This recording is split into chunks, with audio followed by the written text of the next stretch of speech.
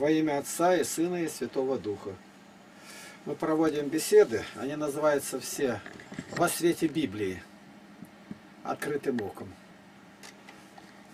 Главное, что мы в ответах берем, это из Священного Писания, из Слова Божия, из Библии. Это три названия в этой книге. И вот сегодня попросили один священник с одного города вот рассказать бы о том, что это о своих делах люди делают. Можно ли говорить? А то другие осуждают, говорят, делай тайно, постись тайно, молись тайно. А другие рассказывают о своих делах. А раз рассказывают, значит, по неволе появляется местоимение «я», «я там был», «я там сделал». У людей это не принимается. Им нужно говорить отвлеченно. Ну и вопрос задали очень хорошо, что а что об этом говорится в Библии? Главное Библия. Вот теперь мы посмотрим. Я сейчас открою, немного я тут подготовил материал. Прямо направлять надо будет, очень хорошо видно. В Библии «Я» с большой буквы. Во всей Библии, это не все знают, но я просто выдам данные эти, встречается 2070 раз. А всего, вот с маленькой и с большой «Я», вот она где есть, 4384. И местоимение «я», то есть касающееся человека, во всей Библии канонической 2314. А в неканонических книгах э, все «я» 514, «я» касающийся Бога 154 и маленькая 360. И вот теперь считайте 360 и 2314. Она получается 2000, э, получается что? 300-600, ну и дальше э, 74. Все. Это не малое число 2000. Просто 1, 2, 3 считать много. И оказывается, Священное Писание всегда, всюду делает упор на личность. Бог разговаривает с Адамом. Он допрашивает не обоих вместе. Бог разговаривает с Евой отдельно. Адам молчит. У Бога везде индивидуум перед человеком. И на суде Божьем написано, каждый за себя даст отчет. Вот это мы, а вот мы, мы, это мы, конечно, мирские люди дали. Такая буква последняя, наоборот, по церковно-славянски АЗ, буква А первая получается. Но это уже на другом уровне приходится разговаривать. Вот. Я показываю. Вот книга «Псалтырь». Ее читают все. Одни по ней молятся. И вот смотрите, что получается. В Псалтыре всего буква «Я», то есть местоимение «Я», не буква, не буква, 343 раза. Хочу я, не хочу, но если я псалтырь читаю, я по неволе буду столько раз говорить «я». И то, что Давид составлял молитвы, псалмы, это молитвы, вот, мы их присваиваем себе, читаем «помилуй меня Боже». Ведь не до того мы читаем, что да, «помилуй меня Боже» это Давид, а меня не касается. Именно «помилуй меня» по великой милости Твоей ко мне и по множеству щедрот Твоих ко мне – Помилуй меня. Слово местоимение я не беру, меня, оно не меньше число раз встречается. А если нас, оно намного меньше. Ну и понятно, что э, счет идет по головам, но по все отвечают. Вот. Всего, значит, получается, что 343 раза. Вот. 87 из них я, это Бог говорит о псалтыре, вот. А итого тогда остается на частного человека на одно 256 маленьких я. 256 раз каждый, кто читает псалтырь, монашка любая, она говорит от себя «я». А если мы это не присваиваем, тогда и молитвы никакой нету, просто читаем как художественный роман. Я повторяю, 256 раз, вот 40 уст, говорит, читать.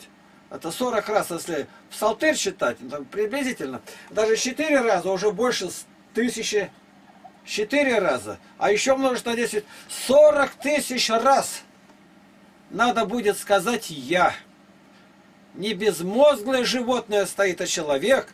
И он местоимением входит в это самое. Теперь смотрите. Прочитаем. Псалом 5.8. «А я по множеству милости Твоей войду в дом Твой, поклонюсь святому храму Твоему в страхе Твоем». Я.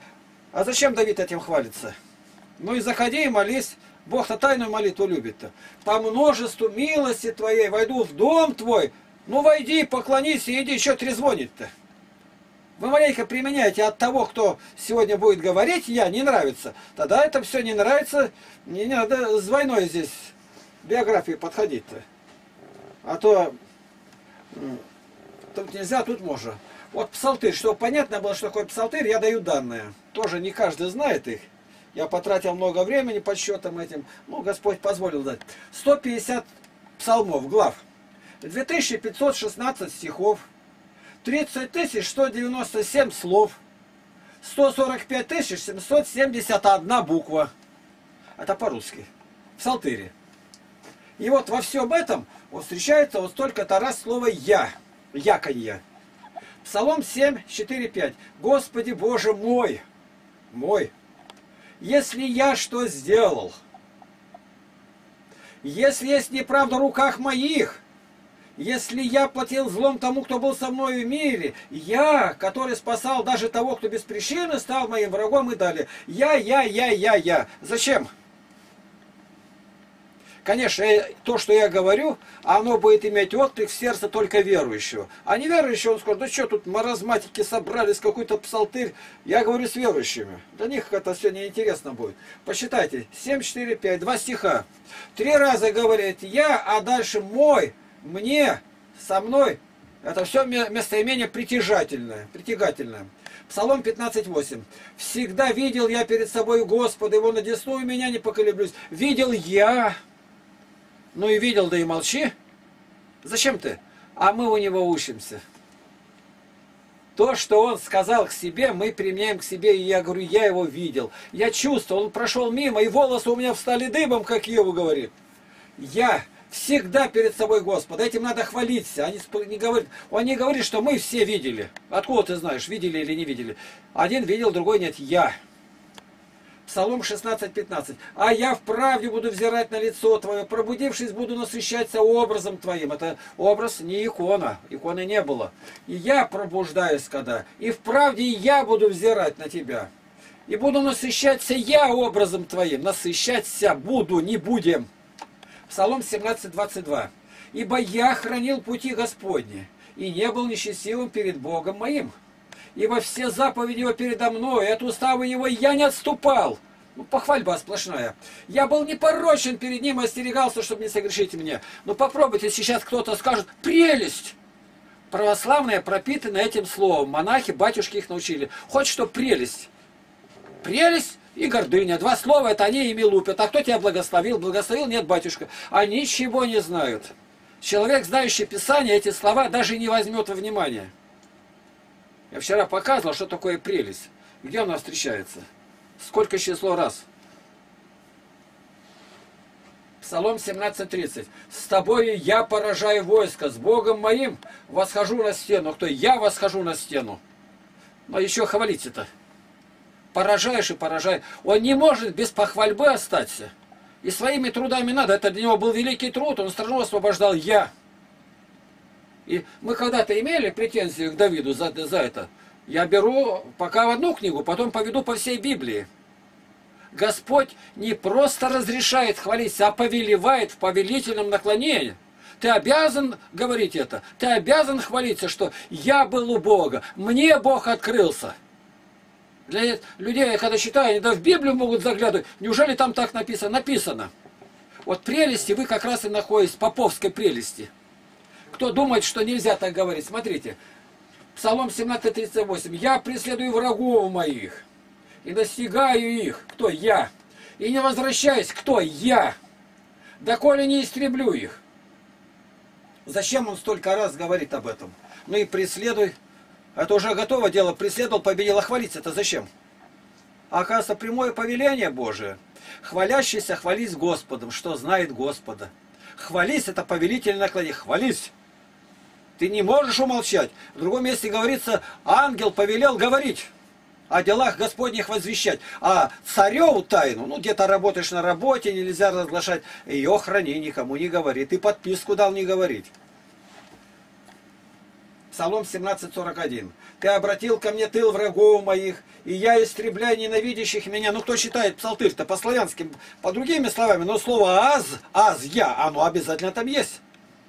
Ты преследуешь врагов? Каких? Вот и вопрос. Иоанн Златоуст – это высочайший мудрец и проповедник, самый плодовитый. Но у него в 12 томах считается самый высокий уровень, выше которого не поднялся, пятый том толкования псалтыри. Правда, не все псалмы истолкованы, то есть утеряны были толкования. Истребляю, то есть он хвалится. Обратил ко мне тыл врагов, кто ты, то есть хвалящийся хвались Господом. Да, я сделал это, но я не, Давид себе это не присваивает. А через нас Бог это делает. Господь мне позволил милостыню подать. Он позволил мне помолиться. И мы так молились, и был у нас архиерей, такое праздничное богослужение было. Мы же можем это говорить. Люди не понимают, что Христос говорил делать тайно. У них всегда говорится, и они получают похвалу. То есть они похвалу думали получать. Остановились на улицу, стоят, кланяются. А сегодня кто тебя похвалит-то? Тебя могут и ударить, и насмеяться, и кирпичом запустят. Псалом 17, 43. «Я рассеиваю их, как прах перед лицом ветра, как уличную грязь попираю их». Я попираю их перед лицом ветра. И я рассеиваю. Че он якает-то все время? Давыд-то, царь. Сказал бы, войска мои рассеяли. Нет, я их рассеиваю. Я. Это результат моей молитвы. Псалом 25.1. «Рассуди меня, Господи, я ходил в непорочности моей, уповая на Господа, не поколеблюсь». Ходил в непорочности и хвалится этим. Ну Давыду ли говорить, что в непорочности? Он уголовник. Он закон нарушал, он убил мужа. Кто не знает 50-й псалом, то чего он сделал? Так, Урия Хитьянина кто угробил? А говорит непорочности. А дальше-то? Взял чужую жену при живом муже, это непорочность. Согласно Слову Божие, Давид должен быть убит. Но Бог по-другому распорядился. И мы не можем это оспаривать, но просто должны понять, что мнение людей, что то, что ты сделал, нельзя никому говорить, иначе Бог тебя не примет, это ни на чем, во-первых, не основано. Как правило, говорят люди, которые ничего не делают, а только, как я говорю, вокруг чужой колокольни могут бегать. 25.3. «Ибо милость Твоя перед моими очами, и я ходил в истине Твоей». Ну и ходи. Зачем хвалиться-то этим? Я ходил в истине Господней. Как мне вот Бог открылся, допустим, мне 51 год, и я так и нахожусь в этой истине. Я ни дня не был сектантом, ни одного дня, нигде. Но они давали проповедовать.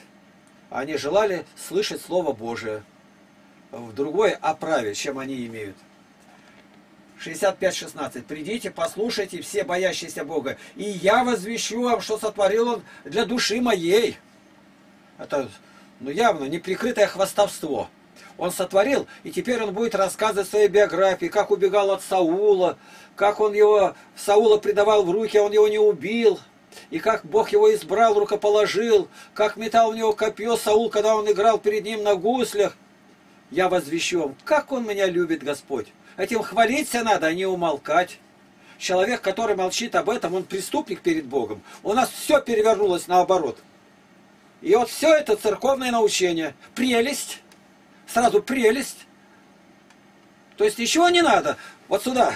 Руки. Вот так вот сидеть всю жизнь и разговаривать. Прелести никакой нету. То есть превратись в камень. Не сидел, не сидел, не сидела с людьми лживыми, да? Псалом 100 и 4 стих. «Сердце развращенное будет удалено от меня, злого я не буду знать». То есть как бы на будущее уже обещает, а опять я не буду знать. Значит, можно, мы считаем, то псалтырь даже не спрашиваем, можно нет-то. Мы читаем и научаемся из нее. В этой книге ничего нельзя изменить. Это одна из книг Библии. Я показал, сколько букв в ней, ни одной буквы, ни одной йоты, ни одной черты нельзя убрать. 118.57. Самый большой псалом. Удел мой, Господи, сказал я, соблюдать слова Твои. Сказал я. За меня не крестные сказали. не батюшка, а я сказал. Это удел. Для чего я живу на земле? Это удел мой, пространство, которое за мной Бог застолбил. Соблюдать слова Его. Слова Божии. А как ты можешь соблюдать, когда Библии нету? Слова Божии только Библия, от корки до корки. Больше ничего нигде нету. Святые отцы – это святоотеческий труд. Каноны – это каноны. Слово твое Давид имел в виду только Библия, что до него было написано. И, а дальше, что к нему, дальше в канон было принято. Дальше, 118.99. «Я стал разумнее всех учителей моих, ибо размышляя об откровении. Я стал разумнее учителей». Ну, тут совершенно неприкрытое хвастовство. Что тут хвалить это? Я вот учился, я мудрее профессоров стал, и больше... Это соответствует действительности? Да, соответствует. А почему? А потому.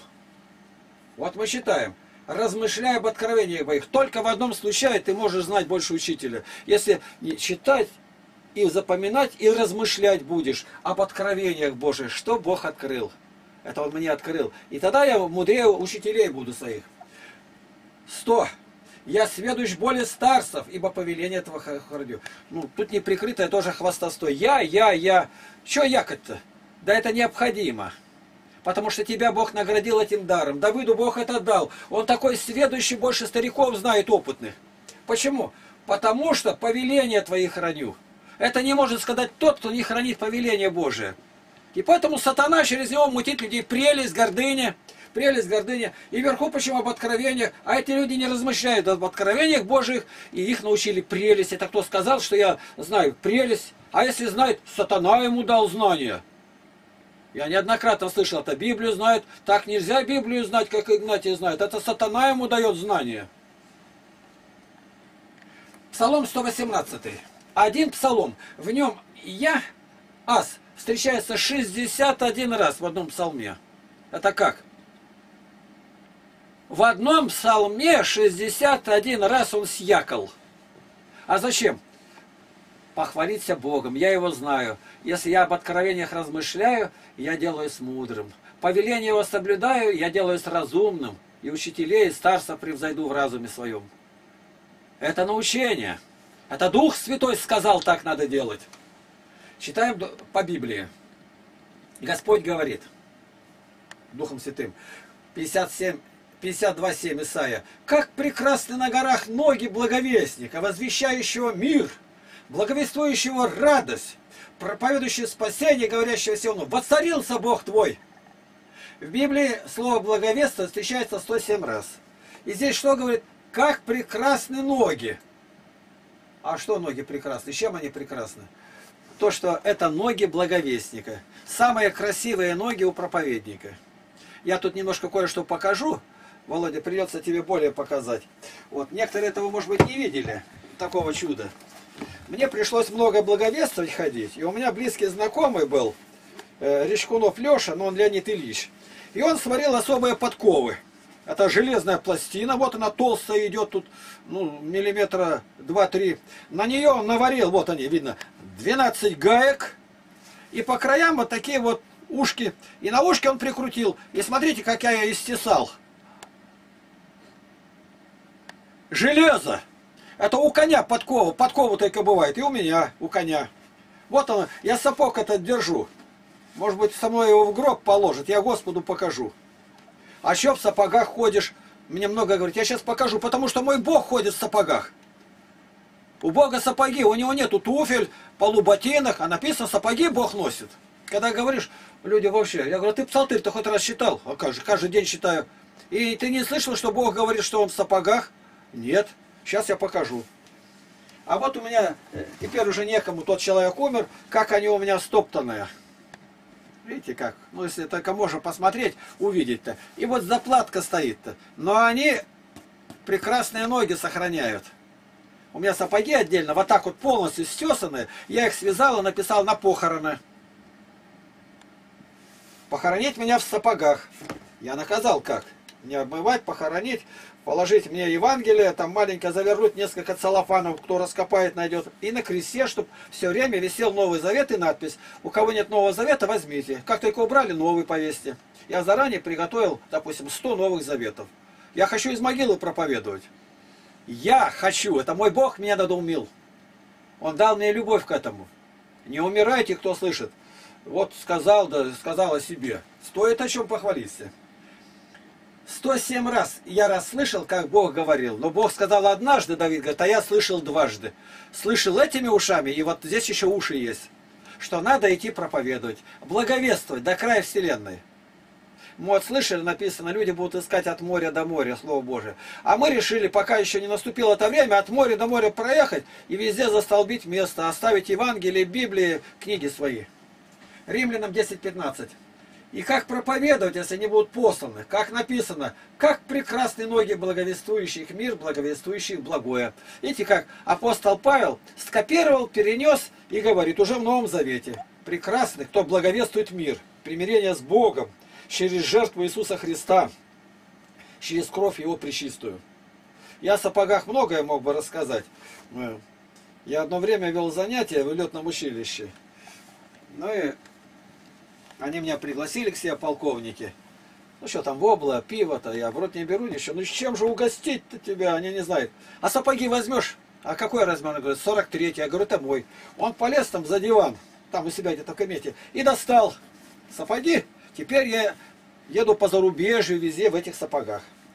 А вот это вот я показал, сколько сапог. Сестры тайно замерили у меня ногу и заказали спецсапоги. Они теплые, но я их ношу только где в церковь пойти стоять. По городу не хожу, боюсь, как бы они не испортились.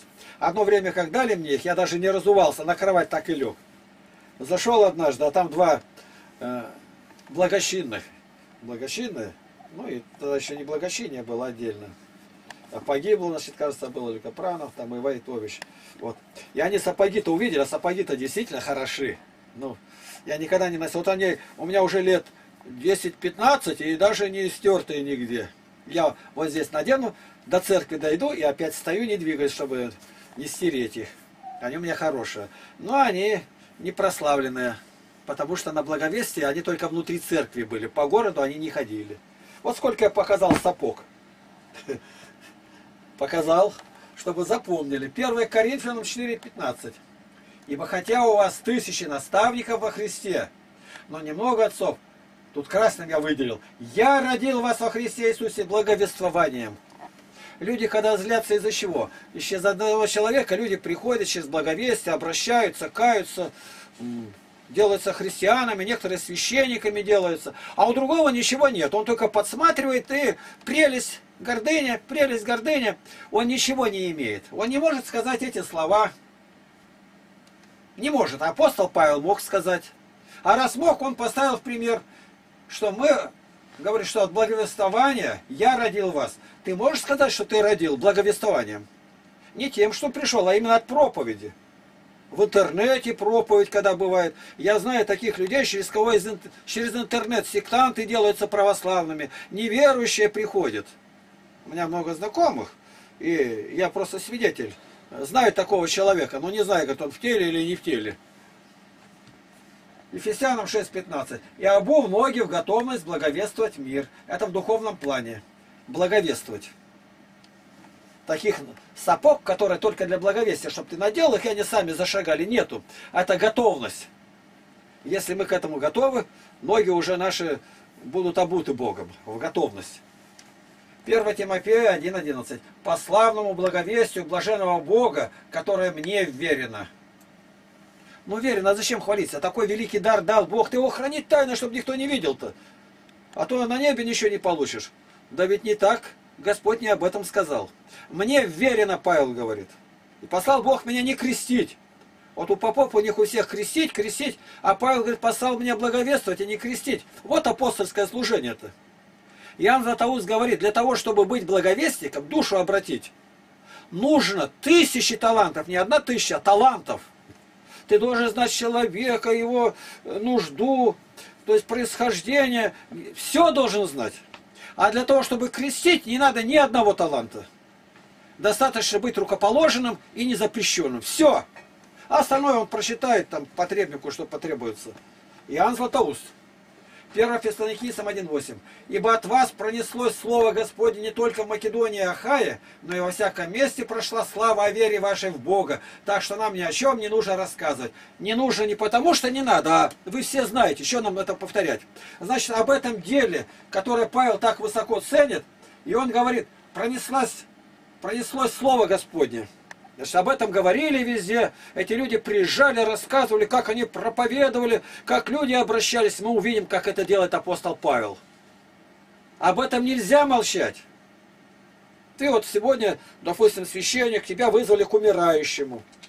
Ты видел, как душа обращалась. Ты ее причастил. Она раскаялась. Ты другим это расскажи, ты не имеешь права. Ты исповедь можешь, не должен рассказывать. А это ты обязан сказать я душу проводил на небо. Понимаешь, ты найди, что сказать. У Виктора, отверженного Виктора Гюго, там все это написано. Именно такими словами. Читаем дальше. Иеремия 9.24. «Но хвалящийся хвались тем, что разумеет и знает меня, что я Господь, творящий милость и суд и правду на земле, ибо только это благоугодно мне, говорит Господь». Что Богу благоугодно? Что Он хвалится – что знает Господа тот человек, и что он Господь, который творит милость, чтобы этом говорят, это благоугодно Богу, когда мы милость творим, суд творим и правду на земле. Ибо это только благоугодно Богу. Об этом надо нам возвещать. Хвалящийся, ты это узнал, что Богу в этом нравится, суд. Все судьи должны делать так. Правду правители, депутаты, они знают это, они могут похвалиться Господу, что были взяточники, коррупционеры, а теперь они не такие, потому что они знают Господа, за все отвечать. Я много судился с разными органами. По милости Божией ни одного поражения за всю жизнь не было. В духовном плане должны были генералиссимуса присвоить. Э, за то, что поражений ни одного не было. Но это Бог так сделал. Говорю, это с кем-то было. Вот так. Смотри что. Если ты этим хвалишься, Написано «хвались», я вот это слово показываю. Это повелительное наклонение. Если хвалишься, схвались Господом. Это он сделал. Всегда добавляй это. И это благословенное Богом. Не я пошел, я сделал, я построил. Бог опрокинул, теперь семь периодов будешь жрать траву на ходоносор. Я сделал, я сделал. Ты ничего не мог бы сделать, если бы не Господь. Он сокрыл, говорит, лицо свое, я смутился. 1 Коринфянам 31. Что было, как написано, хвалящийся, хвались Господом. Это в Новом Завете. Повеление хвалить это. Если хвалиться, прелесть, гордыня. Какая гордыня? Откуда она появилась? Ничего не знает. Дальше. 2 Коринфянам 10, 17. Хвалящийся, хвались о Господе. Что ты его знаешь. Сколько раз мы прочитали. Хвались это повелительное наклонение, восклицательный знак. Или можешь хвалиться, это изъявительное наклонение.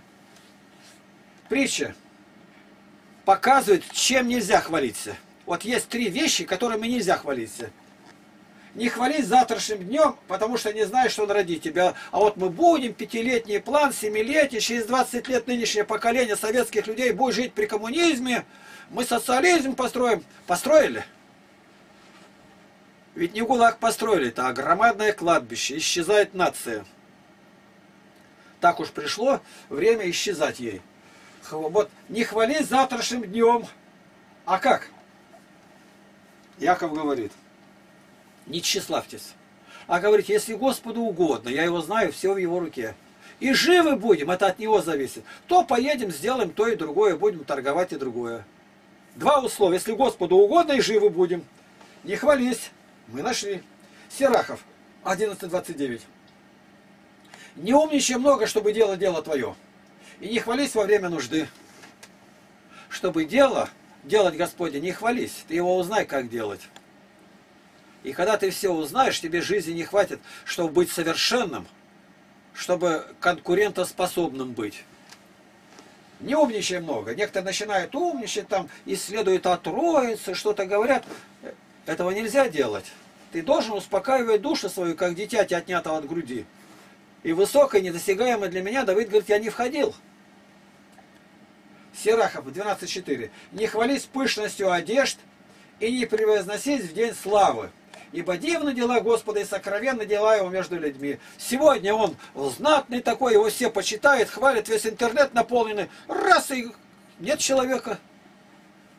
Все, и как будто никогда уже стерли, как будто никогда не было.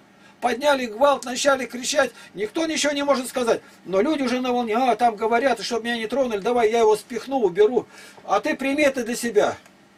Не хвались пышностью одежд. Одежда это не только одежду, которую надеваешь, а то, чем украсил тебя Господь, внешний вид. Потому что для души тело наше есть одежда. Один высокого роста, другой низкого. Какие глаза. Твое там ничего нет, что хвалишься-то. И вот мисс красоты, она ходит, сегодня там еще силиконом накачают. Иаков 2.18. Я говорю о том, можно ли говорить о делах, которые через себя сделал Господь. Мы не будем смотреть на тех, кто умирает от этого. Они ничего не делают, и их дьявол только для него держит, чтобы ты не делал, чтобы шибить тебя. Но скажет кто-нибудь, ты имеешь веру, а я имею дела. Покажи мне веру твою без дел твоих, а я покажу тебе веру мою из дел моих. Это Яков говорит, кто-нибудь. Ну, кто-нибудь из вас слушающих. Значит, можно из дел показывать веру? А как же нельзя? Об этом и говорит. Матфея, так всякое дерево доброе приносит и плоды добрые, а худое дерево приносит и плоды худые. А почему вы не пьете, почему не курите? Я помню, в армии был. Я верующий, я не могу этого делать. Иначе я буду не на той стороне. Добрые дела твои заметят. Матфея 5.14. Вы свет мира. Не может укрыться город, стоящий наверху горы. Он не может. А если укрылся, никакого города там нет. Это обман один. Он не может укрыться. О каком Господь говорит? Это о каждой душе, не, не то, что вы все вместе не можете. И зажегший свечу не ставит ее под сосудом, по-монашески, но на подсвечнике и светит всем в доме. Это твоя вера, а вера без дела мертва, твои дела будут все видеть. Но когда, где можно сделать такое, ты знаешь, как вот Никола Чудотворец тайно делал, ты делай его тайно. Но есть дела, которые нельзя сделать тайно. Их никак нельзя. Ты посещаешь дом инвалидов, а там это время тебя могут и снимать, и другие знают, какая тайна. Тайны нету. Есть таи, такие таинственные дела, где невыгодно сказать, иначе пострадаешь. Было раньше репрессированы, их выгнали, и кто им поможет, тоже в ГУЛАГ пойдет. В книге Тавита об этом говорится. Убивали евреев, выбрасывали за город и запрещали хоронить. А он ночью их доставал, нес и хоронил. И кто-то донес на него. Доброе дело где-то. Ему пришлось бежать оттуда. Книга Тавита. То есть это в нашей жизни такое может. Так да светит свет ваш перед людьми, повеление, так да светит, да здравствует, чтобы они видели ваши добрые дела и прославляли Отца вашего неба. Так оно уже сделано. Ну и пусть видят, пусть это знают. Я знал одного человека, он был начальником детского лагеря 40 э, с лишним лет, без помощи государства. А может это укрыться? Не может. Едут кинорепортеры, режиссеры, снимают фильмы и как? Только а как ему гордость не подходит, а прелесть это болтовню только одну выпускает изо рта. Ты возьми 10 своих детей, 10, и доведи их до нужной кондиции. А это чужие дети. Это уголовная ответственность. А речь идет о тысячах детей за это время. Это каково? Да перед всем миром надо трубить и говорить, придите и посмотрите, какой пример. Уже с детской беспризорностью было бы покончено, если бы другие это делали. Делал бы второй, третий и четвертый. К этому человеку надо обратиться, кто этим занимался.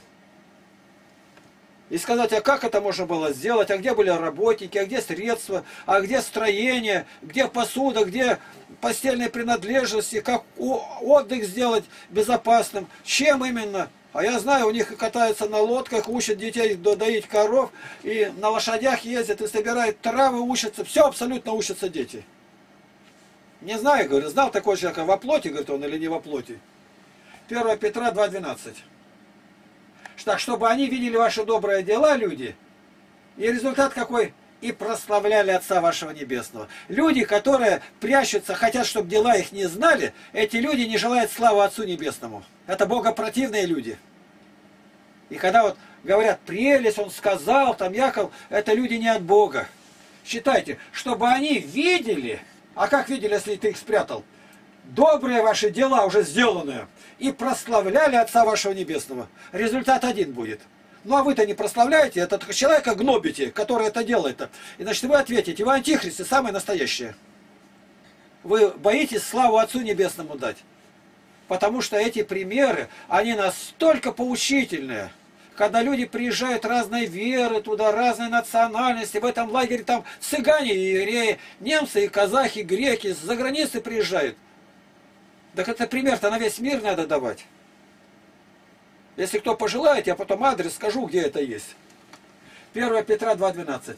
«И провождать добродетельную жизнь между язычниками, дабы они за то, за что злословят вас, как злодеев, увидя добрые дела ваши, прославили Бога в день посещения». Они не будут Бога славить, но когда Бог их посетит, и они поймут, что они неправильно жили, и скажут, так вот я видел такой-то пример, а вот такой-то там делал, верующий-то был-то, смотри. Да это были баптисты, нет, это православные были. Православные тоже хорошие люди есть. Понимаете, вот это и есть свидетельство укрепления церкви, прославления Христа. Что, увидят добрые дела ваши. Как они увидят, если их ты спрятал? Так бывают дела, которые ты делал, их нигде и не видно.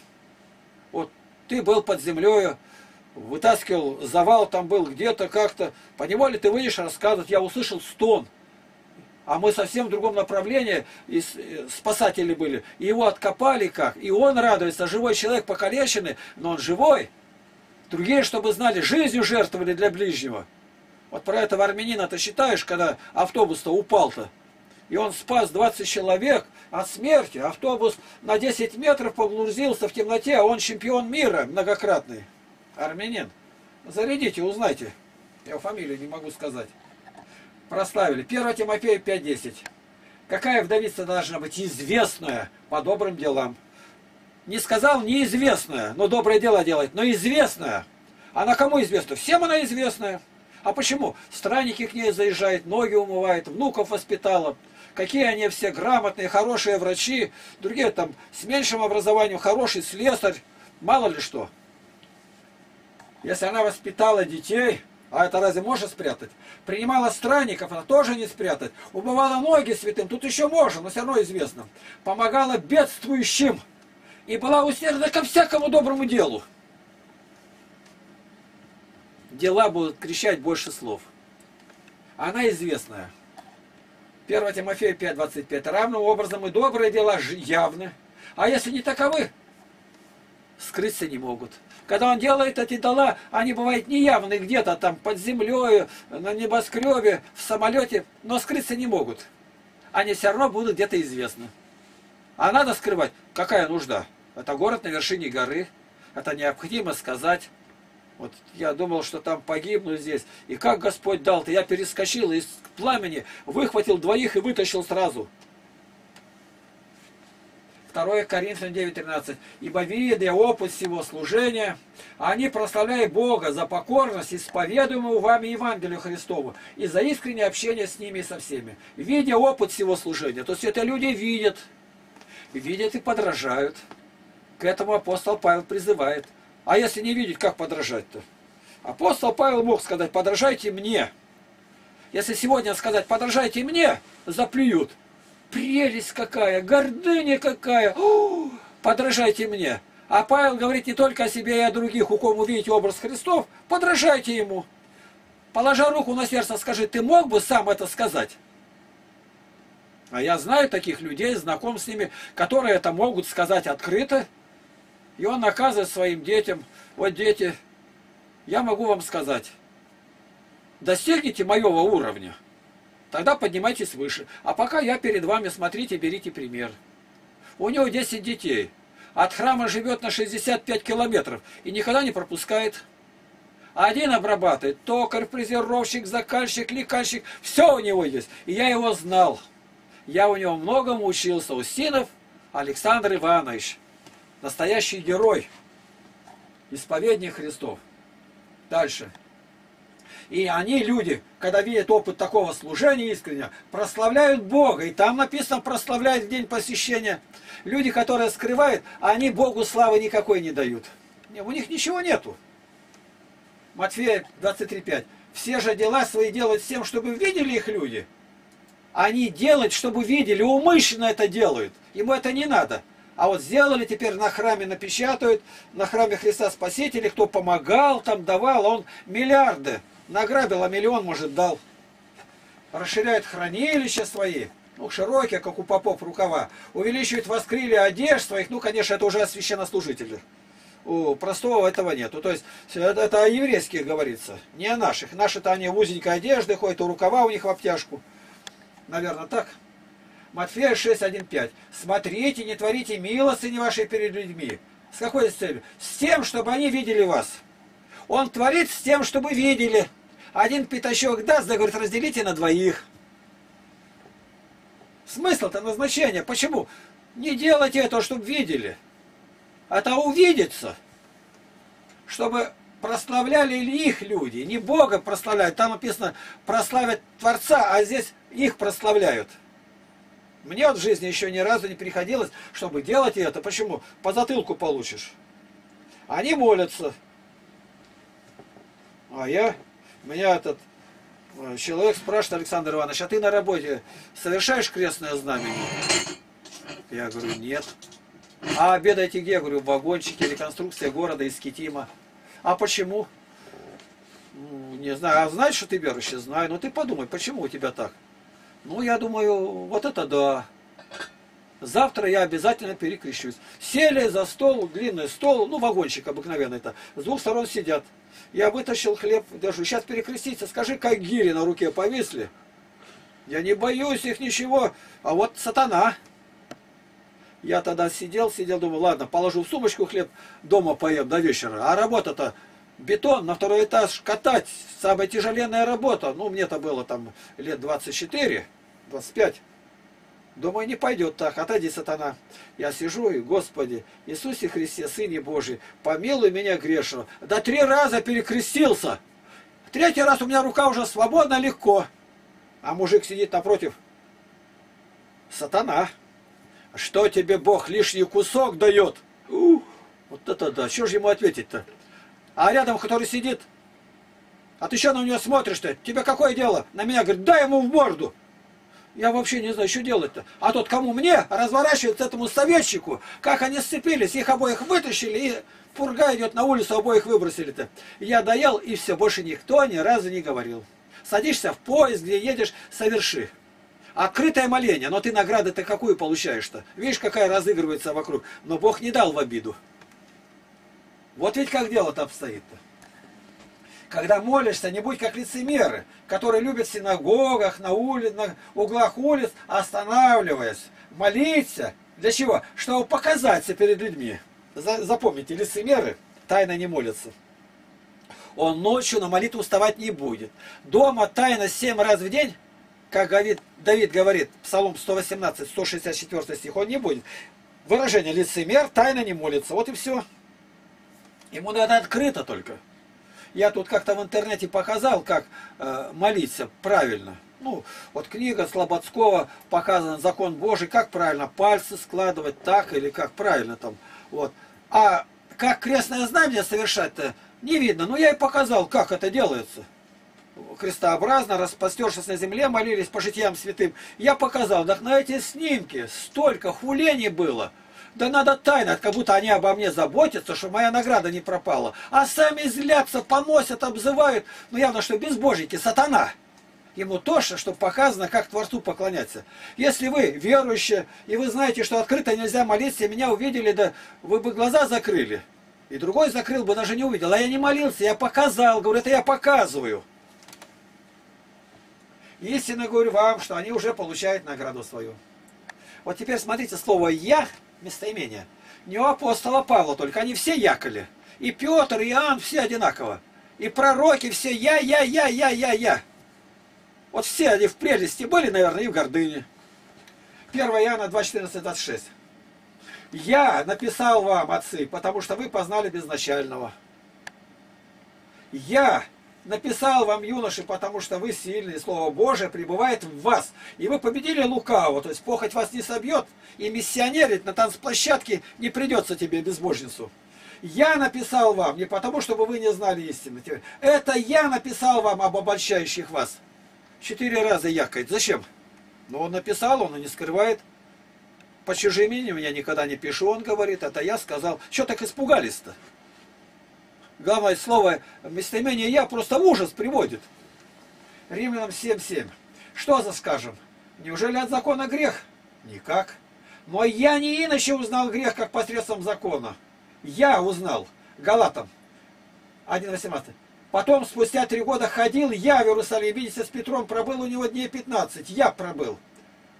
После всего я отошел в страны Сирии Килики. Я отошел ходил там и по откровению и предложил там особо знаменитейшим, там профессорам, другим, благовествование, проповедуемое мной язычникам, не напрасно ли я подвязаюсь или подвязался. То есть уже деланные дела он им открывает, как подвязался, иначе как. Я им пришел и рассказал, как я проповедую, как обращаются люди. Так дела надо открывать, а как же? Тут иначе вообще то предложение нельзя было написать ходил по откровению, я ходил в страны египетское, я ходил в Иерусалим. 2.10. Только чтобы мы помнили нищих, что и старался я, еще даже одно не выделил, старался я исполнить в точности. Когда же Петр пришел в Антиохию, то я лично противостал ему, потому что он подвергался нареканию. Люди-то говорили, Петр-то со Христом был, а ты гнал в это время, и ты ему противостал. Сегодня, если сделать замечание священнику, там не говоришь архиерею на патриарха, да ты поносишь, ты хулишь его, прелесть. Пожалуйста, противостал и отстоял нам свободу Павел.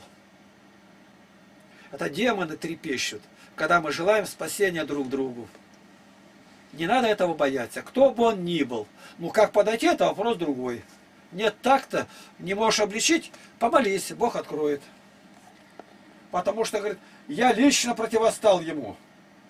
И старался я исполнить в точности. Но когда я увидел, что он не, не прямо поступает, я противостал Петру при всех. Ты, будучи иудеем, живешь по-язычески, а не по-иудейски. Галатам 6.14. А я не желаю хвалиться. Не желаешь, а сам хвалишься. Но разве только крестом Господа нашего Иисуса Христа, который для меня мир распят, и я для мира. То есть вот это Христос умер на Голгофе, а меня мир распинает, поносят, упрекают за всякое слово. Прелесть тебе, это крест, это награда. Впрочем, никто не отягощай меня, ибо я ношу язвы Господа Иисуса. А что ты хвалишься с этим? Ну, носи их все. Так я другим даю пример. Не бойтесь, когда вас арестуют. Я знаю таких христиан, которые в тюрьмах отбывали в лагерях, и они смело могут показать, все должны знать это. Некоторые даже не знают, что во время когда гонения были большие, и некоторые гонения не выдержали, ну и принесли жертву идольские. А потом времена-то изменились, и их принимать не хотят. И был такой закон, что не принимать. Там Новосаане, анкратиты были какие. Тогда в церкви вышел закон такой. За них могут ходатайствовать исповедники, которые сидели, сами все испытали, их мучили. Психиатрия их давила. Но теперь они могут заступаться за этих и дать доводы, сказать, как трудно они не выдержали. И ходатайство имело огромную силу. Через тех исповедников, которые заступались, а многие оказались в воротах церковных. Павел говорит 2.20 Галатам. И уже не я живу, но живет во мне Христос. Ну это вообще верх хвастовства. В себе Христос, ну, куда ни шло, моя жизнь во Христе, как пишет Иоанн Кронштадтский, книги называют, такой претенциозности я никогда не могу сказать. Мне не дано это, потому что ну, вот лично я не могу сказать, что моя жизнь во Христе. Я человек страстный, увлекающийся, ну, может быть, привязанный к земле, мне все интересно здесь. Вот. И фильм посмотрю, там религиозные, другие, все известия, они, видимо, этим не занимались. Они могли так сказать. Ефесянам 6.20 для которого я исполняю посольство в вузах, дабы я смело проповедовал, опять же, я смело проповедовал, как мне должно. Я, я в одном предложении непрерывно якает. А как? О ком говорить? Так и должно быть. А вот посмотрите местоимение их. когда считаешь в одном предложении до 4 до 5 раз, точно показать, от кого исходит эта мысль. Филиппийцам 1.17. А другие из любви знают, что я поставлен защищать благовествование. Его надо защищать. Некоторые говорят, кому надо, он и без нас обратиться, как у старообрядцев. Лежало тысячу лет, пусть еще лежит. Верующий не может так говорить, нужно спешить. И вот в данном вопросе патриарх Кирилл абсолютно прав. Надо менять тактику, выходить на перепутье дорог. Газета «Труд» перепечатал. Я мог бы сейчас открыть и прочитать, но у нас уже времени на это нет. Это надо выполнять. Он говорит к священникам в основном-то. Но это касается всех. Деяния апостолов 8.4. Филиппийцам 3.8. Да и все почитаю за ссор, считаю ради превосходства познания Христа Иисуса Господа моего. Для него все отказался, и все почитаю за ссор, чтобы приобрести Христа. Я от всего отказался. Он хвалится этим. Так мне стыдно сказать. Если ты отрекся, ты родился свыше, ты скажешь, я встретился со Христом, это была моя встреча, я получил рождение свыше и крещение Духом Святым. Я почувствовал, как меня благодать наполнила. Я иду за Ним. Ни страхи, ни что теперь меня не задержит. Это верующий так может говорить. Филиппийцам 4.11. Говорю это не потому, что нуждаюсь, ибо я научился быть довольным тем, что у меня есть. А сегодня осуждает, у тебя одежда плохая, да кто другой. А как святые это одевались-то? Вы сами себя обманываете. Они в такой рухляди ходили, в шкурах, и где, говорят, которых мир не был достоин, не по одежде, в милотих и козьих кожах. Мы бы увидели сейчас их, наверное, отшатнулись бы, какой там запах-то был. Ведь они, как ворода, то у них так щели были прорезаны, от большого э, козла шкура надета, и он день и ночь в ней был. Смиряли плоть свою. Филиппийцам 4.18. Я получил все избыточествую. Я доволен, получив от Эпофродита посланное. Все. Я доволен. Для чего я тружусь, подвязаюсь Колосинам? Тимофею, подвигом добрым я подвязался. 2 Коринфянам. Ибо если бы я более стал хвалиться нашей властью, которую Господь дал, бы, дал созиданию, а не к расстройству вашему, то не остался бы в стыде. Даже больше того, что хвалится, еще бы больше стал. У меня власть над вами есть. А в чем она выражается? О, так это вот на меня говорят, это знаете, это управление сознанием людей, методы такие есть. Это надо, это, это манкурты. Какие методы? Люди разошлись помолиться. Нет, это потому у него молятся так, чтобы управлять людьми надо. Звери лютые. Безумные совершенно люди. Сознанием никому не дано управлять. Они могут туда вторгнуться, отнять, убить, сварить кровь там, а управлять они не могут. Им не дано. У быка могут они вживить, и теперь ярость на вести у людей, у верующего это не может быть. Он молится. И гипнотизер стоит, руки опустил. Я знаю, он загипнотизовал всех. Гипнотизировал-то. А одна пришла женщина, она решила узнать о своих братьях, погибших на фронте. И он ей палочку показывает стеклянную, смотри. А потом два раза ничего не получается. Он третий раз, слушай, тетка, а ты молитвы не считай про себя. И выгнал ее оттуда. Он ничего не мог сделать. Она пойти-то пошла, боялась и считала, да воскреснет Бог, и все. А обольщение искусства волшебников рухнули, как при мудрости Соломона написано. 2 Коринфянам 11.2. «Ибо я ревную о вас ревностью Божией, потому что я обручил вас единому мужу. Но я думаю, что у меня нет ни в чем недостатка против высших апостолов. Вот это превозносца. У меня нет недостатка. Я все это понимаю. У меня нет недостатка. Это Павел говорит по сравнению с Иоанном, с Петром. Ну, хвалиться-то зачем это надо? Ну, кого ты будешь осуждать-то? Это же не я сказал, я, у меня прелесть, а у Павла это похвала. Как так получается? Но если я, допустим, или другой человек 50 лет Библию из рук не выпускает, он трудится, я знал такого человека, то и священники обращаются за помощью, он отдает свободно свои знания. А, ну и что в этом плохого? 2 Коринфянам 1.18. Как многие хвалятся по плоти, то и я буду хвалиться разговаривает как с ребятишками.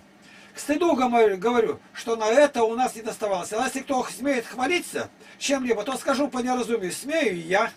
Они евреи, и я. Израильтяне, и я. Семя Авраамова, и я. Христовы служители. Безумный говорю, я больше. Это не хвастовство? Он служитель, прошлыми делами хвалится. А чем? Больше в тюрьмах сидел, больше пространства прошел, проехал на ослах на кораблях. Больше людей через него обратилось. Это слава Божия. Кто? Павел. Я гораздо более был в трудах. Он через запятой идет, мы поставляем. Я больше был безмерно в ранах. Я более был в темницах. Я многократно был при смерти. От иудеев пять раз дано мне было. Я страдал по 40 ударов без одного. Три раза меня, то есть я был бит палками. Однажды камнями прибывали меня. Я был побиваем. Три раза я терпел кораблекрушение. Ночь, день пробыл в глубине морской я. Много раз я был в путешествиях. Я поставляю букву Я. В опасностях я был на реках. Я был в опасностях от разбойников в опасностях от единплеменников. Я был в опасностях от язычников. Я был в опасностях в городе. Это свободно оставляю. Это просто литературно так не передается. Но это именно за этим и стоит. Я был в опасностях в пустыне. Я был в опасностях на море. Я был в опасностях между лжебратьями. Я был в труде и в изнурении. Я был часто в бдении. Я был в голоде. Я был в жажде. Я был часто в посте. Я был на стуже в ноготе. Кроме посторонних приключений, у меня ежедневное освещение людей, забота о всех церквах. Кто изнемогает, с кем бы я не изнемогал? Кто соблазняется, за кого бы я не воспоминался? Если должно мне хвалиться, то буду хвалиться немощью моей. То есть это все делал Бог. Он здесь сколько раз съякал? Речь уже идет о десятках раз в одном контексте. И что, он говорил не в Духе Святом это? А кто против, он ни разу не может якнуть. У него ничего нету. Он не проповедует, не благовествует, ни один человек через него не обратился, он безбожник. Тролль поганый э, из Норвегии, из-под земли выскочил. Их так и надо понимать. Это люди троллят пространство. Тролли кто они? Это норвежские подземные существа, демоны. Их иначе нельзя называть, как только демоны, бесы. Бог, Отец Господа нашего Иисуса Христа, благословенного веки, знает, что я не лгу. Еще и Бога во свидетели знает. Звал чтобы схватить меня, я в корзине был спущен. Если захочу хвалиться, то не буду неразумен. Второй Коринфян. Но я удерживаюсь, чтобы кто не подумал о мне более, нежели сколько во мне видеть или слышно от меня. Ничего себе, хвалился, хвалился, хвалился, что нам за год не, не, не разгрести. Если где он в опасности, по порядку все проходить-то. А теперь, как бы больше не сказать, что? О видении, которые на небе были. А у нас именно об этом только и хвалятся а вот он был, а вот он слышал. Вот это и есть прелесть. А когда начинаешь слушать, там ничего божественного нету. Какие-то видения, бредни пьяных старух, как Златоуст говорит. Чтобы я не превозносился, что? Чрезвычайность откровения, откровения, которые были. Дано мне жало в плоть, ангел сатаны удручать меня, чтобы я не превозносился. А кто? Гонители, поносители, вот эти тролли окаянные. Вот эти люди, которые шпигуют тебя, это прелесть, это гордость. Они боятся даже в скайпе выйти на тебя поговорить. Они собственной тени боятся. И на них так и надо смотреть. Трижды молил я Господа о том, чтобы удалил. Я молил его, чтобы маленько отхлынули эти гонители от меня-то. Вот эти, а, да, они от сатаны. Ангел сатаны, вот она. Ангел сатаны с маленькой буквы ангел. Вот она. А Господь сказал, нет. В немощи сила. Ты немощи, тебя заковали. Ты поешь, сидишь, и вдруг Божья сила, началось тут цунами, землетрясение, тюрьма раскрылась, узники могли убежать, стражник Стефан обратился, с семьей крестился. Вот в этой нашей немощи, когда мы не можем, вот Бог проявляется. Вот я был судимый. Судимый в 86 году, в июле месяце. А потом, когда я освободился, я людей стал спрашивать, ну как вы на суде были? Со стороны как я выделил? Ой, вы так героически вели себя, так мужественно, вы КГБ обличали, вы там судье так отвечали, тут прокурор, они ответить не знали, что вам. Это вы так уверены, да? А я говорю, я как кролик сидел, у меня все внутри дрожало. Я сидел. Но вот в этой немощи Бог показал такое, чего я сам себе не видел. Я-то, ну никто не знает, но я-то знаю. Я людям говорю, нет, это не так, я не герой. А Златоуст говорит, это не вина твоя, что ты боялся. Вина, если бы ты отрекся. Но я не отрекся. Получил срок и пошел по этапу. Надо знать еще, в какой момент ты теряешь общение с Богом. Я только сидел и молился, Господи, только бы мне э, не 70-ю статью, а 190 прим. Там сразу два раза срок увеличивался. У меня не было антисоветской деятельности. Вот нападает, да вы знаете, в 86-90 году его брали в психбольницу, не брали меня. Это все лжецы. А что, проверка идет, можно судить или нет. А почему? Отрыжка армейской службы, когда я уверовал, и там пришлось быть в госпитале. Проверили, у меня в книге документы все положены. Ничего нет, можно судить дурака. А кто это э, на меня нападает? Они-то не проходили комиссию-то. Я поэтому не знаю, вы сумасшедший или нет. И у меня документы есть, что я нормальный. У меня документы есть. И документы хранятся в архивах государственных. Но я их, когда освободился, все переписал, номер, какого числа, какой лист. Дальше. Господь сказал ему довольно благодати, и потому я гораздо охотнее буду хвалиться своими немощами. Чтобы обитала во мне сила Христова. Вот меня пришли, ограбили один раз, другой раз, а я сижу, не знаю еще и как. Даже пойти в туалет на улицу, а в бараке живу, и со мной идет подполковник КГБ. Вот охрана. А только президента так водили, даже в туалет. А потом он уже полковник, ко мне надо будет приезжать а потом приедет вот сюда, где я сейчас сижу, и книги мои купит. Бог как делает, в этой немощи. В немощи. А если бы я гордыбачил как-то по-другому, я просто сидел, как ягненок перед ними, ничего не говорил, молчал и молился. Но они со мной аккуратно обращались. Даже просфору большую нашли, а у вас там внутри чего нет? Нет. Может быть, ее можно отломить? Сами не трогать, я просто большая, просто от архиерея. Я разломил, ничего нету. Икона одна такая, оклад глубокая. Взяли с той стороны. А у вас там ничего нет? Игнатий Тихонович, можно там, чтобы посмотреть, открыть, чтобы мы могли записать? Пожалуйста. То есть они даже иконы не трогали. Я по отношению органов никакой претензии не имею. Почему? А в этой немощи была сила. И какая сила? судья, который меня осудил, потом приезжает, берет книги здесь. Куратор КГБ приезжает, приезжает на машине и меня увозит домой из тюрьмы. Это вообще не видно. А потом вот это здание, мэр города приезжает, отдает эти здания мне, я высудил за то, что конфисковано. Тут мы молимся в этом да, вот квартирке, я живу здесь. В этой немощи, когда я ничего не знал, Бог потряс буквально до основания все. Я испытал это. Я хвалюсь моим Господом. Это мой Бог. Дивный Создатель мой Бог. Господь Иисус Христос, благословенный во веки. Я благодушествую в гонениях, притеснениях за Христа, ибо когда я немощен, тогда я силен. Я дошел до неразумия, хвалясь. Вы меня к этому принудили. То есть он на них и свалил. Да я бы молчал, но вы прелесть, гордыня, я вам должен сказать, так чем э, хвалиться-то, не гордиться. Я в этом не чувствую ни, ни возношения, ничего. Я расскажу почему. Вам бы надлежало хвалить меня, ибо у меня ни в чем нет недостатка против высших апостолов, хотя я и ничто. Ну кто из слушателей может это сказать?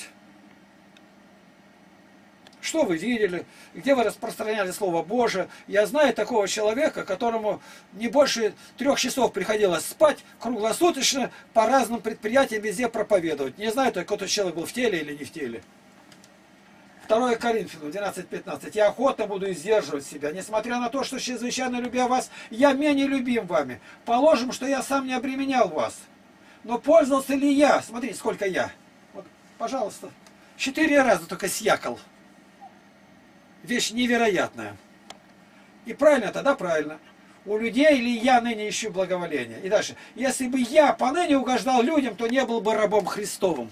Не можете служить Богу и мамоне. Вот эти богатые машины у священников. Не может быть этого у священника. Пересядьте на отечественные машины. Вас уже архиереи к этому призывают. Отдайте, не отдадут. Они будут судить. А что это, как бомж одетый? Да, бомж. Но вы знаете, великий бомж, что-то без определенного места жительства.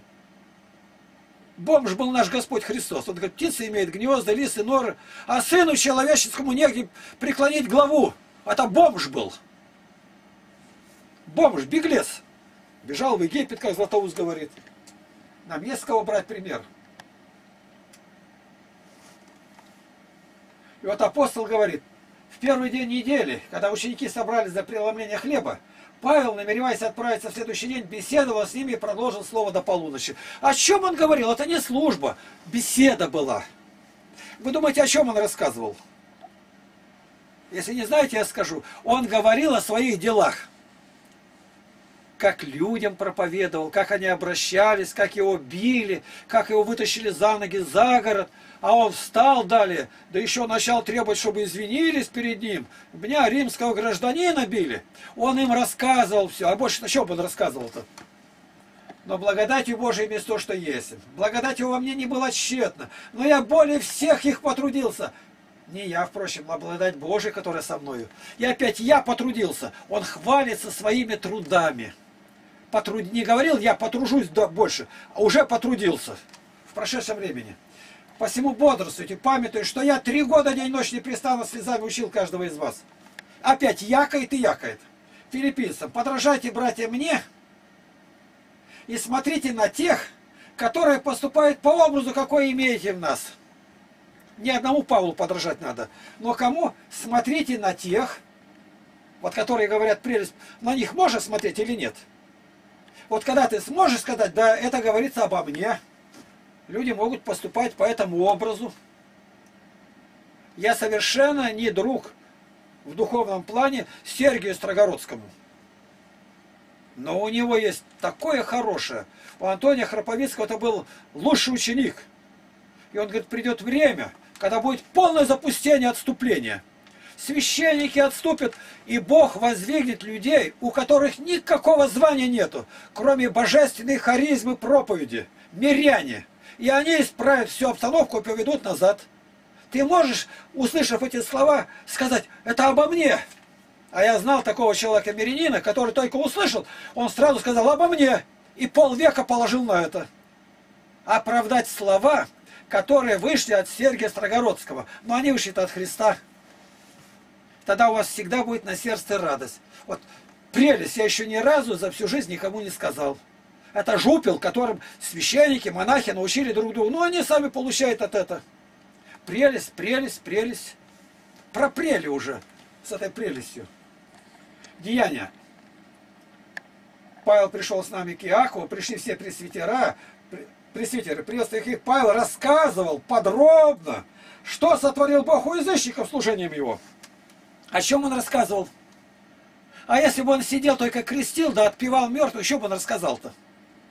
А вот он где был, я знаю таких людей православных, которые едут от находки до Атлант Атлантики. Еще у них путь будет. Мы не можем поехать, мы будем молиться. Людям нужны средства, мы будем собирать. Мы делаемся участники. Принявший пророка во имя пророка получит награду пророка. Принявший праведника во имя праведника, награду праведника. Принявший благовестника во имя благовестника получит, сидя дома даже, как будто ты проповедовал. Рассказал подробно. Значит, можно рассказывать об этих делах. И никто не сказал, это прелесть, гордыня. Они же, выслушав, что? прославили Бога. Который раз мы слышим, результат того, что Павел говорил, хвалился, какой? Прославление Бога. И сказали, видишь, брат, сколько тысяч уверовавших, иудеев, и все они ревители закона, а тебе наслышались, что ты, и дальше, не надо слушать, что кто говорят. И все испытывает, а какой ты веры православный. Православный. Мне тоже приходится иногда кому-то говорить. И пока ни одного человека ни разу никуда не направили, только в храмы Московской Патриархии. Всех до единого туда направляем. Но говорим, что ищите там священников, чтобы архиерей дал, которые проповедуют Слово Божие. Ну, дальше прочитайте. Это Деяние 21, 17, 24. И дальше говорит, слышано имя о тебе несправедливо, но что и сам ты продолжаешь соблюдать закон. Нужно это рассказывать людям. Вот в чем обвиняют верующих, а ты знаешь, что это не так, что эти люди соблюдают каноны, соблюдают жития святых, соблюдают все посты. Ты не имеешь права молчать, ты заступись. Они наслышались. Слышанное тебе несправедливо. Сам продолжаешь соблюдать закон. Если ты знаешь, конечно, что тот человек, которого хулят, которого обвиняют в прелести и в чем, он не такой. Выйди, скажи, ты получишь награду. Бодрствуйте, памятуя, что я три года день и ночь непрестанно со слезами учил каждого из вас. Павел не боится сказать, я плакал, как вы не плакали. Я молился о вас. Тайну цареву прилично хранить, а о делах Божьих объявлять похвально. Тавита 12.7. Тавита 12.11. А о делах Божьих объявлять похвально, второй раз говорите. Дальше. И стали рассказывать о великих и чудных делах Божьих. Это надо рассказывать. Великие чудные дела Божьи, где тебя Бог спас, где Он тебя воскресил, где защитил, где сердца людей расположил, как ты проповедовал, как нес Евангелие. Люди десятками тысяч распространяют. Ты это делаешь? Ты хоть раз был отцом, который ты родил через благовествование? Ты поймешь, Павел говорит, я в муках рождения. В муках. Жена рождает женщина, больше суток она не может мучиться, она умрет. Павел годами мучился этим. И скажи, делаешь это? Для того я никогда не перестал напоминать вам о всем. Пастырь ваших умоляю я. Вам говорю, язычника, как апостол язычник, я прославляю. Я знаю уверен в Господе. Сами смотрите. Итак, я могу похвалиться, что относится к Богу. Я старался сеять не там, при том, где имя Христово, дабы не на чужом сеять. Я питал вас молоком, питал. Я насадил, я по данной благодати мудрой строитель положил основание, я положил, от меня вы уверовали. И дальше. Я родил вас во Христе Иисусе. Для сего я послал к вам Тимофея. Напомнит вам он о путях моих. Я не только о себе рассказываю, Павел говорит, но еще обо мне Тимофея расскажет, что я делаю, как проповедовали. Вот как надо вести. Вот это евангельская вера. А то, что никому не говори, это, это монашеская вера. Она никакого отношения к Евангелию не имеет. И как я учу везде, во всякой церкви. Ибо желаю, чтобы все люди были, как и я. Как? Чтобы безбрачны были, как я. Относительно девства я не имею повеления. Не боялся это сказать. Я имею, думаю, Духа Божия. Я не пользовался ничем таковым. Вот. Я всем поработил себя, чтобы больше приобрести. Как приобретил? Я и с баптистами, с адвентистами, с яговистами, с католиками встречаюсь, с мусульманами, а там всюду люди обращаются к Богу. У тебя это есть, Павел говорит? Нету. А что ж ты на меня ропщешь? Двойной стандарт? Если на Павла нельзя сказать, что он в прелести, делами хвалится, то нельзя сказать и сегодня. Это эталон. Для немощных был как немощи. Для всех я сделался всем для всех, для староверов как старовер, оставаясь в душе на правильных позициях. Ты это можешь делать? А зачем это мне нужно? Вот это и оно. А Павел говорит, чтобы спасти, по крайней мере, некоторых. Вот для чего я это делаю. Обрезываться нельзя. Кто обрезывается, нет пользы от Христа. А сам берет Тимофея и обрезывает. А зачем? Для евреев. Иначе они не слушают его. Он полукровка был. Метис. Потому я бегу не так, как на неверное, бьюсь не так, чтобы только воздух бить. Так как я угождаю всем во всем, ища не своей пользы, но пользы многих, чтобы они спаслись, чтобы через нашу проповедь батюшки стали другими. Чтобы женщины были не Б в церкви, наполняли ее, а святые чистые голубицы. Будьте подражатели мне, как я Христу. Кто из сегодня может это сказать? Миряне, Патриарх Кирилл скажет, может быть, это Папа Римский Франциск Бенедикт? Старобрядский Корнилий? Я пока не, не, не слышал, кто это скажет. А почему они в душе понимают, что они не такие? Они не избрали бедность Христа, смирение Христа, везде давить, угнетать, запрещать. То есть репрессивная сталинская бериевская машина, образовавшая эту структуру. И дальше. Хвалю вас, братья, что вы держите предание так, как я передал вам. Вот тебе и предание. Сектанты воюют против предания. А Павел говорит, я его передал. Воюя против предания церковного. О чем Павел говорил-то? Воюет против Павла. Ну какие тут Павел имел в виду, это надо рассудить. И я покажу вам путь еще более превосходнейший, который я покажу. А почему не Бог? Я наименьший из апостолов. Недостоин называться апостолом потому что гнал Церковь Божию. Но благодатью Божией есть то, что есть. Благодать во мне была тщетна. Но я более всех их потрудился. Вот тебя на. Я не достоин называться, а более всех потрудился. Хвалится прошедшими трудами. Я каждый день умираю. Я боролся со зверями в Ефесе. Какими зверями? На арене? С людьми. К слову сказать, волками в Писании, посылая как овец среди волков, Господь имеет в виду язычников, иудеев, в дальнейшем коммунисты, фашисты, масоны. А в 20 главе Павел собрал священников, епископов и говорит, из вас восстанут, из вас лютые волки. Вот он боролся со зверями сегодня, его пришел, его бы в епархии Павла не приняли. Это абсолютно точно, я уже доказывал в кругу священников. Вот представь, я говорю, у вас идет епархиальное собрание, и вдруг кто-то стучится в дверь. Ну-ка, секретарь, посмотри. Секретарь посмотрел. Стоит какой-то непонятно бомж. Чего ему надо? Ну, сказал, меня отталкивают. Что ты стоишь на дверях? Ну, ходи.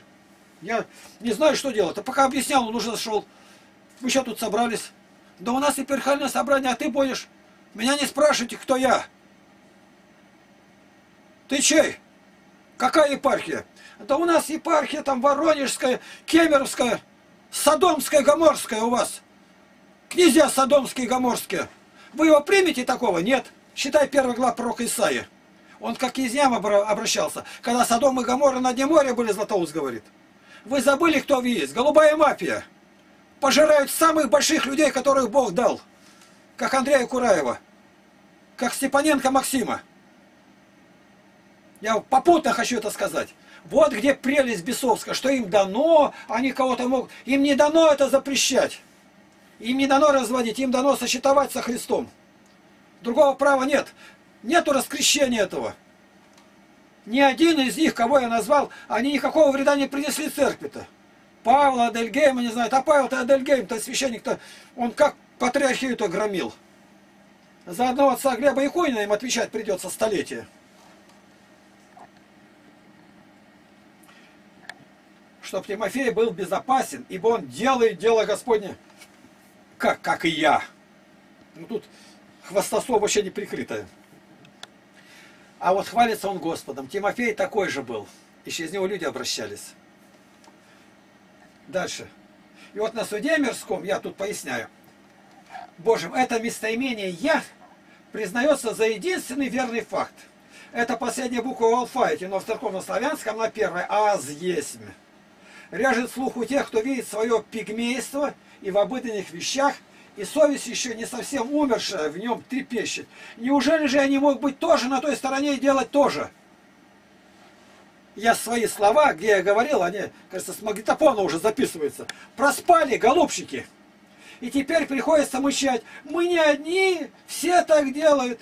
Причем тут мы? Такая была власть, мы не виноваты, нас заставляли. А нужно сказать, я всегда и везде виновен я, лукавый ленивый раб, скрывался за коллективизмом, а спрос с единоличного с меня, с моего конкретного я. И должен сказать тогда такой, пропал я, талант я не умножил, зарыл я его, я сам. Что я наделал? Я погубил себя и ближних к тому же безделью я подвигнул. Вина моя безмерно велика. Вот и режет слух. Это неплохо, значит, совесть еще трепещет, ощущает боль от пустоты. Не совсем сожжена. Повторяю снова Иакова. Ты имеешь веру, а я имею дела. Покажи мне веру твою без дел твоих. Покажи.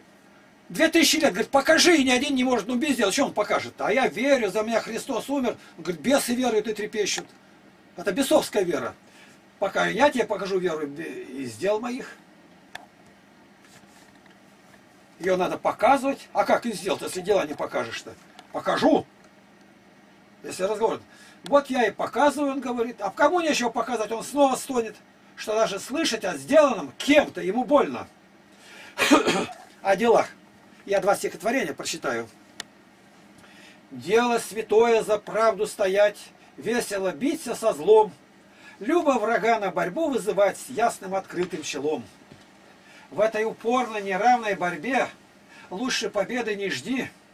Знай, что пожать не придется тебе дум твоих светлых плоды. Но закаляясь все больше борьбой, не отступай ни на шаг, чтобы и труп опозоренный твой встретил с почтением враг. Федоров Амулевский, прошлый век. Дальше. Но нет пощады у судьбы тому, чей благородный гений стал обличителем толпы ее страстей и заблуждений. Его преследуют хулы, он ловит звуки одобрения не в сладком ропоте хвалы, а в диких криках озлобления. И каждый звук его речей плодит ему врагов суровых, и умных, и пустых людей равно клеймить его готовых. Ты такой или нет, тебя клеймят? Подряд все будут клеймить. Со всех сторон его клянут. И только труп его увидя, как много сделал он, поймут, и как любил он, ненавидя. 1852 год, Николай Алексеевич Некрасов. А теперь про сапоги. Ну, речь идет о больших сапогах. Вот смотрите, это сапоги. Господь говорит, Псалом 59.10. Маумуальная чаша моя, на дома простру я не тапочки, не туфли, но сапог мой. И дальше. На дома простру сапог мой. Второй раз повторяет Давид, 107 Псалом, 10 стих. Вот что сегодня по заказу пришлось осветить о том, что дела, сделанные во Христе, можно показывать. И можно ими хвалиться. Кто этого не понял, я ему уже ничего не могу сказать, потому что им нужно иметь эти дела и быть городом на вершине горы. Богу нашему слава во веки веков. Аминь. Слава Христу. Я уже охрип. Можно было потише говорить, но я так привык, глухой, потому что сапог натаскал целую кучу, четыре сапога. Никогда так не было, потом я унесу. Ой.